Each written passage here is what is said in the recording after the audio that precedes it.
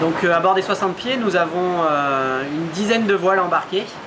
Certaines sont fixes, comme la grand voile qui est tout le temps à poste, ou comme des voiles telles que le génois qui sont roulées à l'avant du bateau.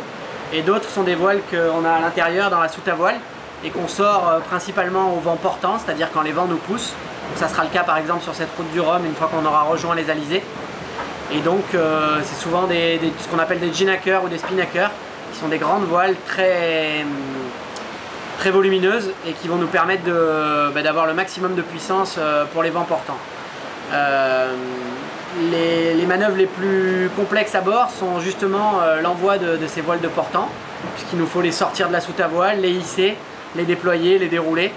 Et donc ça c'est des manœuvres qui, qui, peuvent prendre entre 20 minutes et 3 quarts d'heure.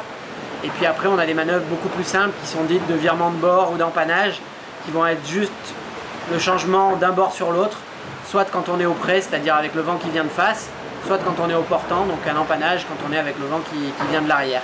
Donc là, c'est des manœuvres qui vont nous prendre entre 5 et 20 minutes, euh, tout compris, c'est-à-dire avec le déplacement des poids à bord et la manœuvre euh, sur le pont.